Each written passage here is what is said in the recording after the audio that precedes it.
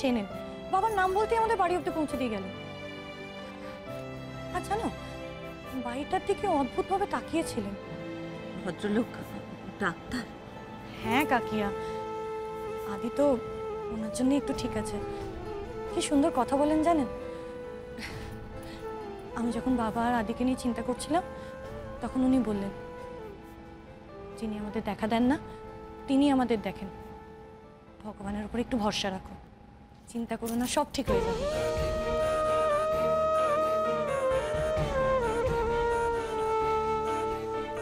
যিনি আমাদের দেখা দেন না, তিনি আমাদের দেখেন।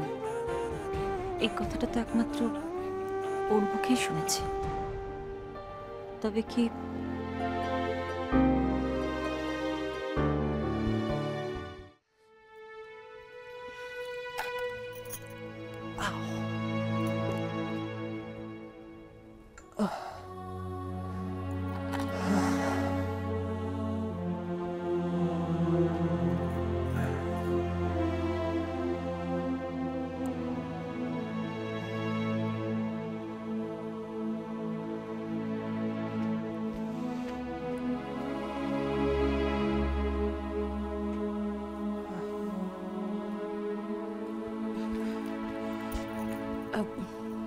স্যার আপনি একটু মুখ হাত পাটা ধুয়ে নিন। আপনাকে খুব টায়ার্ড দেখাচ্ছে। এই নিন চেঞ্জ করে নেবেন। ততক্ষণ আমি আপনার জন্য গরম জল করে নিয়ে আসছি। ঠান্ডা গরম জল মিক্স করে আপনার আরাম হবে। আসছি স্যার না না কিছু করতে হবে না। আমি ঠিক আছি। আপনি ঠিক নেই স্যার আমি নিজের চোখের সামনে দেখতে পাচ্ছি আপনার কতটা কষ্ট হচ্ছে। আপনি আজ আমার জন্য যে বিপদের মুখে পড়ছিলেন ভয়ানক কিছু একটা হয়ে যেতে পারত। আমি সত্যি খুব ভয় পেয়ে গেছিলাম স্যার। আপনার যদি কিছু হয়ে যেত আমার কাছে বাঁচার কোনো মানেই থাকতো না।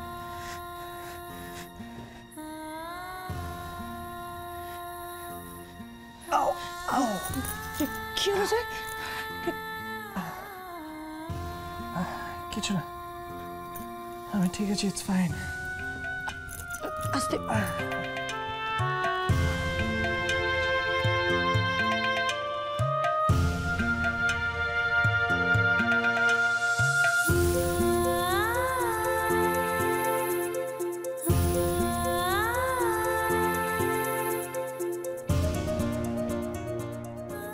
আমি একজনকে হারিয়েছি।